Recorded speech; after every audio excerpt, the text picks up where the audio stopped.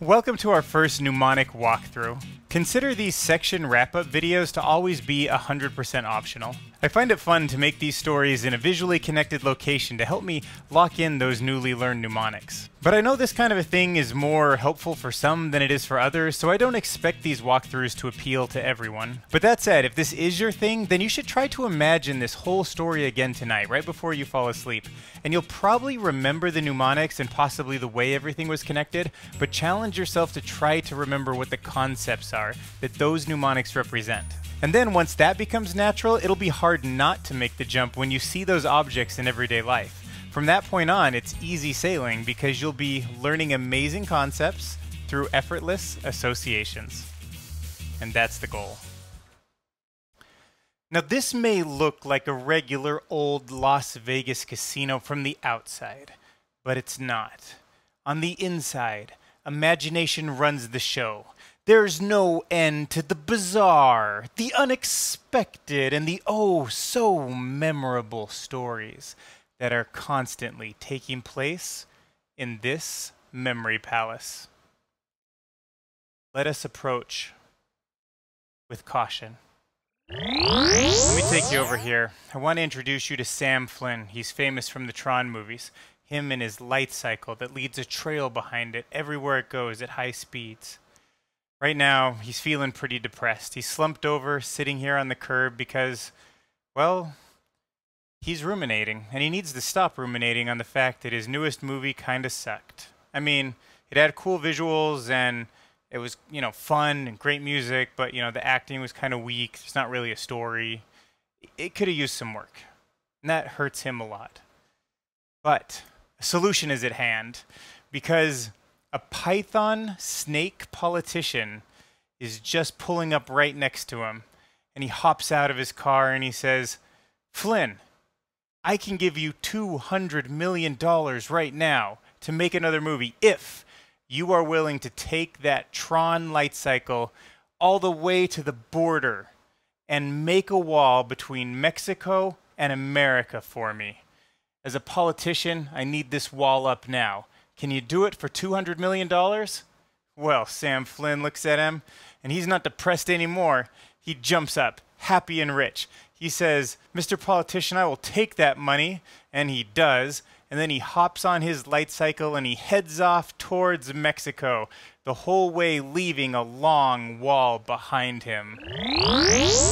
And now we follow this python snake politician. Let's find out exactly what he's doing here. Oh, looks like he's sitting down at a table with a whole bunch of other politician snakes. Uh, and he's telling him the good news. Oh my, they seem like they're actually not that happy. He got the wall built for $200 million. Let's listen in closer. They're all wiggling their tongues at him, and they're expressing their anger with their tongue hissing. That's very weird, and he doesn't like it. So we ask these snake politicians, what's the problem? And they say, the problem is that none of us want to see another stupid Tron movie made. In fact, we all hate the franchise so bad that we were planning to move to Mexico if they made another movie. And now you've just given him the money. And the worst part is, we can't even get to Mexico because your dumb wall's in the way. This is a problem. But luckily, our Python Snake politician is feeling smug. He's feeling smart, and he's on a roll. He says, Listen, you snaky snakes, this is not a problem. Let's just reallocate the US government's $600 billion military budget to NASA, and then we can all move to Jupiter. It's a whole planet where there's no Tron. Everyone is so happy now. All of the snakes are, are wiggling their tongues in a different way now. And this, this kind of wiggle, eh, and this kind of wiggle means that they're happy. It's like this is wiggling up and down, which is like to show they're happy. The other one was wiggling left and right, which is like hissing out of anger. So now they're really happy and they're wiggling their tongues around, and all of the snakes put on space helmets and hit the dance floor right over here to jam out to some music. So the snakes come over here and they're dancing, and at first they're really pleased because hanging here, right in the middle of the room from the ceiling, is a giant model of Jupiter, about the size of a disco ball. And they think that's really cool because that's where they're all going to live when the new Tron movie comes out. But then they didn't really think about it, but because it's not making cool lights like a disco ball would everywhere, it's kind of kind of ruining their dance vibe, you know? And the snakes, they really love dancing with the disco lights everywhere. But these snaky politicians definitely know how to fix problems like this by taking illegal drugs. That's right. Illegal drugs that make it so that anything they do will seem fun, but only in the short term. In the long term, they'll do serious damage to their body, and it's a really bad move overall. But because these are just snake politicians who aren't really thinking of long term goals, and they're always trying to do whatever feels best at the moment. They're always trying to cater and pander. They do it. And when they come off that drug, they regret ever doing it. And then, feeling sick and tired, they all make their way out this front door to go back to running our country. Now, the bartender that works the afternoon shift over here is one of the Teenage Mutant Ninja Turtles after stopping Shredder and not getting married to April O'Neil, he didn't really know what to do, so he just got a job bartending. Well, he figures himself out, you know? But the problem is now that he's just bored. He's been like sitting here for a while, and those snake those snake politicians didn't really order any drinks because they were, you know, on their illegal drugs. And, you know, the other guy who was going to get a drink from Tron, like, went off to Mexico. So he decides, well, he's killing some time. He's going to look over his report card. So he takes his most recent report card, which he hasn't looked at yet, and lays it right here on the counter. And he starts looking over his grades some A's, some B's, and a few C's. He's thinking about how his GPA is mutable and changing over time. And he looks up to see a potential customer as a small butterfly flutters in the door, looking like he's ready for a drink. Now, this butterfly has had a long day at work, a long week at work, actually, and all sorts of additional stresses in his life from multiple factors. And today he just wants to relieve this overworked tension with a shot.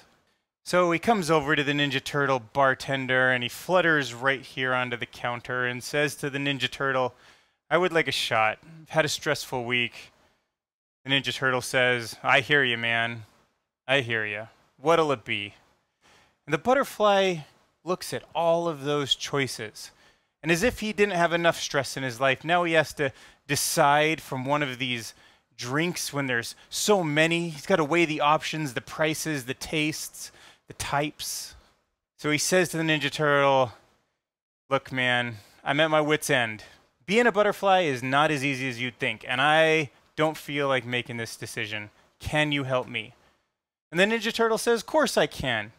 What we'll do is we'll break down the approach first by type and then by brand. Great, says the butterfly. So the Ninja Turtle says, Now, do you like vodkas? Do you like whiskeys? Or do you like tequilas? And the butterfly says, You know what? I think it's a whiskey day. Whiskey it is. So we don't need any of these or any of these. That leaves us with just these three options.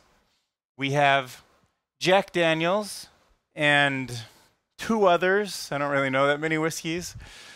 So now, which one of these three specific liquors would you like? Which one of these three specific liquor brands? And the butterfly says, Now that I can choose between three. I'll take Jack Daniels. He pours him a shot of Jack Daniels. That butterfly slams his hand down on the counter, takes it in one gulp, and says, Man, that hit the spot. He flutters up, a little more wobbly this time, and gives that Ninja Turtle a big kiss on the nose, a big butterfly kiss. And then he flutters out the front door to go do whatever butterflies do when they're happy, because he's now feeling great. Now follow me right over here to this foosball table. I want to introduce you to two professional streakers. Now, right now, they're not in the best mood. They're here playing on this foosball table because, well, they feel a bit defeated. Both of these guys are professional streakers, and what they love more than anything, what their passion, what they were put on earth to do, was run naked in front of big crowds of stadiums. But unfortunately, they're unable to pursue their dream, their American dream, because all of the nearby stadiums have 86 them and they are no longer welcome in any of the nearby stadiums. And this hurts. Could you imagine the thing that you love doing being banned by every place where you can do it? That's what these two streakers are dealing with right now. So they're playing foosball. They're not even really trying to score. They're just imagining what it would be like, little versions of them, to run across this little thing here naked. Like they're just imagining streaking on this foosball table and big audience of tiny people around the foosball table grossed out at watching them be naked, but some cheering them on as they get tackled. But then, in the middle of the depression, one of them looks up at the other and says, You know what? I just thought of a solution on how we can get back into the stadiums. And the other says, Well, what? What is it? And he said, I know. I have some of those My Name is sticker badges from a lame corporate event. Why don't we put new names on them, names that aren't ours, and then we'll stick them to our chest, and the security guards won't know that we are the ones who were kicked out before. Oh my gosh, the other streaker is so excited. He didn't even think about that. He's got a new name. He's the new name's not kicked out. They'll let him into the stadium, and then once they get in the stadium, they can run naked, and everyone in the audience can watch them get tackled. They jump for joy, hug each other, and then they head out to the nearest local football match, excited to execute on their new plan. And as they run out the door, they run past the penguin encounter, which is also going to be our final story for today. Now, this penguin enclosure has many penguins, just like in a zoo, where they're on a fake little ice ledge and there's like a refrigeration system in there so that it's all cool and cold and like the Arctic for these penguins. But the problem is these penguins have been stuck in this enclosure for tourists who come to the Gold Spike to look at for a long time. And, you know, they're feeling kind of confined. It was cool for a while, but now they're kind of wondering what's beyond the scope of this enclosure. So the problem is that the bar management at this bar is trying to appeal to a more upscale crowd. They don't want lowlifes coming into this bar. So they brought in all of these penguins because all of the penguins look like they're wearing tuxedos. And they thought that the customers would see the penguins wearing tuxedos and think that they needed to, you know, at least dress nice. Maybe not all the way to a tuxedo, but you don't want to be wearing shorts when everyone else has a tuxedo on. And the logic is sound. But the penguins, they need some freedom. And now the penguins have an idea. They look at the bar manager and they're always so fancy pants, like they're holding drinks and like they talk really fancy because, you know, they're fancy people, but they decide that they're going to start acting like lowlifes. And when the bar manager sees that, he's going to say, Get the heck out of here, penguins. We're trying not to keep your kind around. We're trying to get classy kind. That's why we brought you in. So when they see the bar manager walk over to feed them, the penguins start burping, chewing with their mouth open, and other low class things that I can't think of right now. Maybe smelly armpits and stuff. And when the manager sees this, he is so disgusted. He opens the enclosure immediately and lets them run free. He says, We don't need you low life penguins here anymore and they're so excited they run right out the door to explore all of Las Vegas. The penguins are now free. Finn. Subscribe to the Mnemonic Academy YouTube channel for daily uploads that will help you learn amazing concepts through effortless associations.